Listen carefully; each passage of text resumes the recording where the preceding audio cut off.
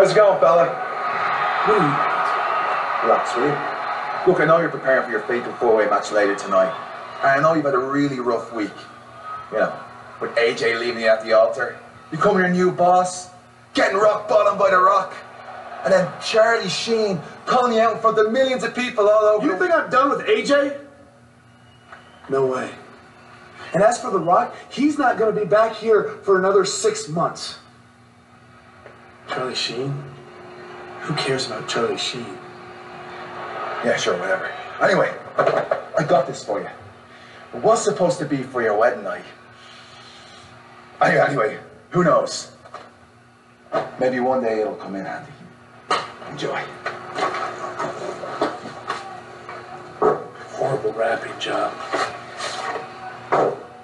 My wedding night? For my wedding night? You think this is funny?